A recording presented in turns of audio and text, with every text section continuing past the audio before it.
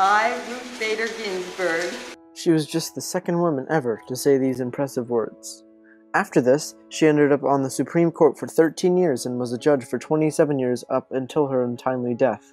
She was one of the few to be nominated by not by not one but two presidents, these being Jimmy Carter in 1980 and Bill Clinton in 1993.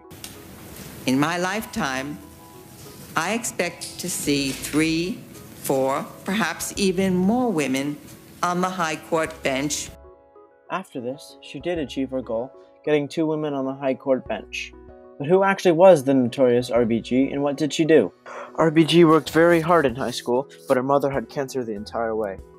On the penultimate day of graduation high from high school, her mother, who was her biggest inspiration, passed away. She then traveled to Harvard, where she met her future husband Martin, who just returned from the military.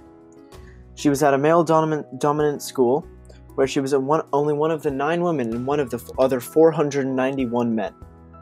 Ruth was the first to graduate from the women and became the first member of the prestigious Harvard Law Review. Another challenge soon arose, as her hu- beloved husband Martin was diagnosed with testicular cancer in 1956, which required medication and rehab, which he struggled with his entire life. Fortunately, he landed a job at a New York law firm. Ruth traveled to Columbia Law School, where she was elected to the school's law review and then graduated from Columbia, first in her class. Despite her impressive grades and outstanding academic performance, she was still facing gender discrimination. She started teaching and was stellar at it. In 1993, there was an opening in the Supreme Court and RBG wanted the position. President Clinton knew that she was reliable and gave her the opportunity. It was one of the smartest decisions in Supreme Court history. But who actually was Ruth Bader Ginsburg? Miss Evans, a history teacher at Palo Alto High School, has more. She was known for her unbelievable um, push for gender equality and women's rights.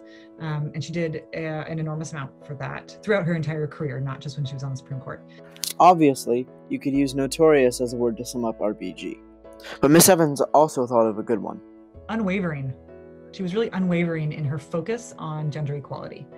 Um, she she got onto that very early in her career and just kept pushing and pushing and pushing and really um, i think the united states has a huge amount to thank her for in terms of how uh, how far we have moved towards gender equality. What was really interesting is she took on just as many cases about about men being um, discriminated against as she did women.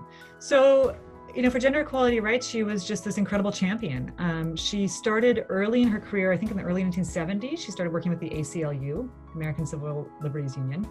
The ACLU works in the courts, legislators, and communities to defend and preserve the individual rights and liberties guaranteed to all people in this country by the Constitution and laws of the United States of America. I mean, she broke a lot of barriers throughout her life, right? She, um, she was somebody who, got, who graduated top of her class from Columbia Law School.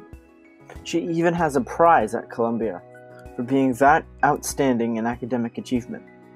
We um, would not have gotten as far in terms of looking at our looking at the laws that we had written and our um, you know and how how inherently gender was written into our laws that notion that we should each be free to develop our own talents whatever they may be and not be held back by artificial barriers man-made barriers certainly not heaven sent For In Focus, I'm Matthew Ehrlich.